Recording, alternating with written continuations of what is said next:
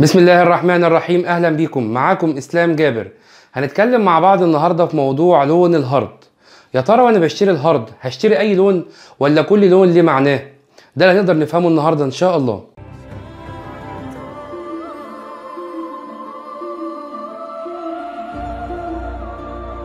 اولا اللي مال السوق المصرية دلوقتي هتلاقي الهارد الويسترن ديجيتال.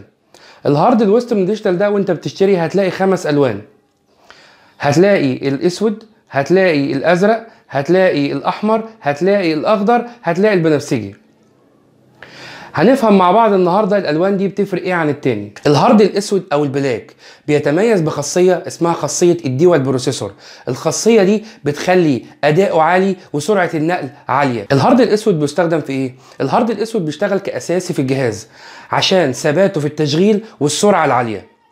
وهو الأفضل لمحبي الألعاب ومصممي الجرافيك. وممتاز جدا في عملية الإقلاع اللي هي ال booting. رقم اتنين ال hard الأزرق. ال hard الأزرق من ناحية الكفاءة والسرعة والقوة هو أقل من ال hard الأسود لكن هو المفضل للمستخدمين لأنه بيديني اللي أنا عايزه بسعر أقل. بس بالنسبة لمصممي البرامج ومحبي الألعاب هيشتغل معاهم بس مش بنفس كفاءة ال hard الأسود. رقم ثلاثة الهارد الجرين أو الهارد الأخضر. الهارد الأخضر ده أداة للتخزين أو ك hard ثانوي لكن مش hard أساسي ينزل عليه نسخة Windows لأنه عمره الافتراضي قليل أبطأ من من ال hard الأسود وأبطأ من ال hard الأزرق. الكفاءة بتاعته مش عالية فهو لا يصلح إلا أن يكون تخزين فقط. يا جماعة ال hard الأخضر ما يصلحش إلا إن يكون تخزين فقط.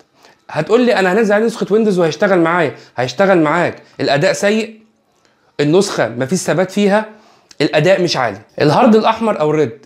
هو hard غير منتشر لأنه في الكفاءة والأداء زيه زي ال hard الأخضر. لكن اللي بيميزه إنه معمول خصيصا للسيرفرات لأنه بيتحمل العمل بلا انقطاع. ال hard البنفسجي. ال hard البنفسجي بيتحمل العمل لفترات طويلة وبيستحمل درجات الحرارة العالية. وفي خاصية اسمها خاصية ال all frame. ال all frame دي وظيفتها تقليل تقطيع الفيديو وهو الأفضل والأنسب لكاميرات المراقبة وأجهزة المراقبة. كده يا جماعة خلصنا شرح الخمس ألوان.